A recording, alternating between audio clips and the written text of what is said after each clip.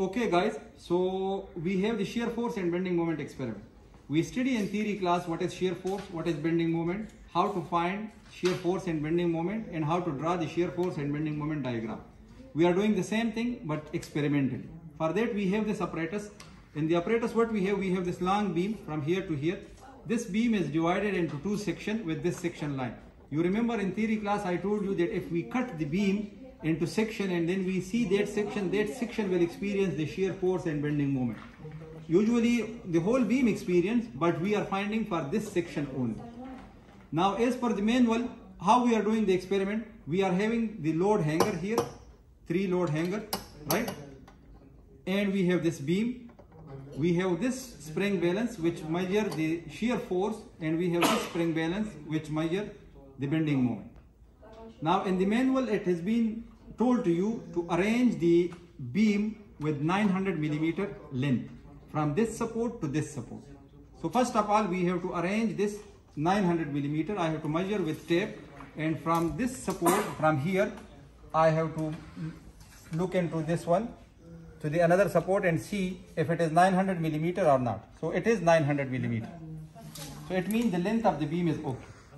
Then in the manual it has been told to you that arrange the weights in such a way that from this side the first weight is 100 millimeter away, the second one is 300 millimeter away, the third one is 600 millimeter away. So with the tape we have to see whether the load hanger are at that position or not. So if we see the first one, it is not in 100 but now it is exactly you see at 10 so it means it is at 100 millimeter right the third the, the second one at 300 it it is almost on the the, the specimen this this place. So it is 330 you see. So it means it is at 300 300 millimeter. This one at 60 so we have to keep it at 60 now all the load hanger are at the position. Now before starting the experiment we have to make sure with spirit level that the beam is stable how you see here now the, the beam is not stable. This bubble is on the left side left side of me. Maybe if you are looking so to the right side we have to bring it to the center to level the beam. How we can level? From the shear uh, bending moment spring balance we have this knob. We rotate this knob and we will see that the bubble is moving. Right? We have to rotate to the other side so to make it balance and properly align the two sections right? Why we are doing it? We have two sections here. So the both the section are aligned like this. Now it is in the center. At this point what we have to do we don't have any load on it. But your manual says to record the the values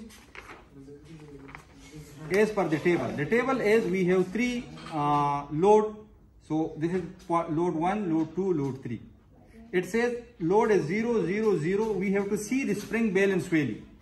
So sometime it is 0 but sometime it is not 0 so we have to record that value. At 0 load all the loads are 0 what is the value? Let's say this is some value. It will be in kg not in force but then we have to convert it into force.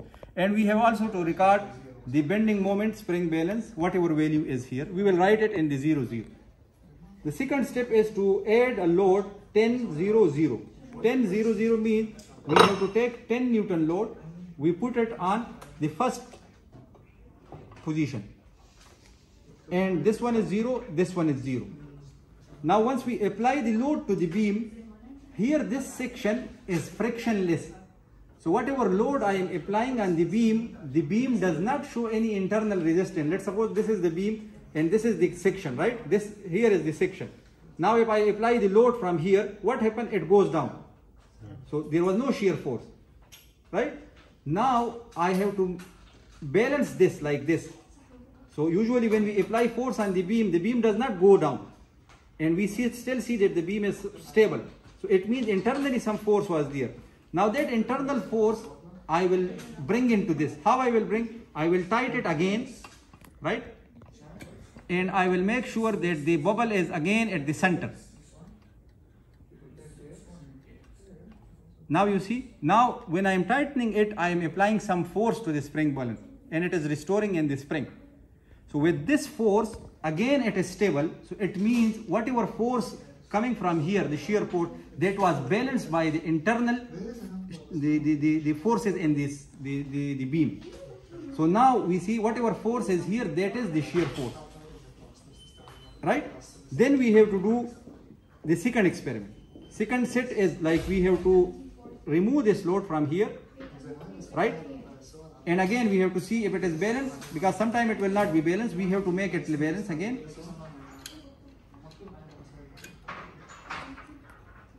Every time you repeat the experiment, you have to check this that it is stable, right? Now it is stable. Fine. Now we have to apply 0, 2, uh, sorry, here we have to apply 10 and here 0. So now I am applying another force. Now you see it even touches the the the, space, uh, the, the base. So what I will do, I have to, now it is not balanced, I have to balance again. Right? So if I am balancing from here, I will tight.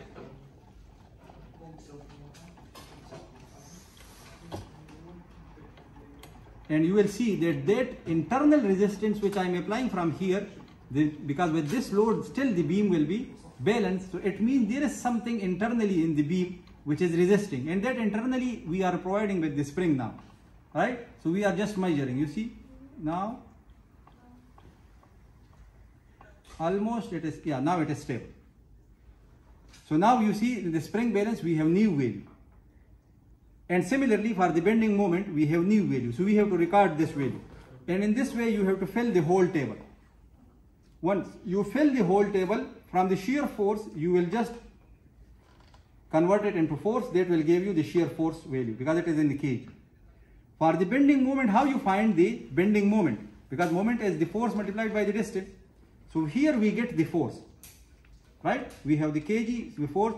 This spring balance is 150 millimeter away from the beam, from the centroid of the beam, right? So this is 150 millimeter away, this is 150 from the centroid of the beam. So every force value and the shear force we have to multiply with 150 millimeter. You have to convert it into meter and to do the proper calculation. So you have no Newton from here, from the, the, the shear force, sorry, the spring balance, you have the distance which will give you the moment at this section.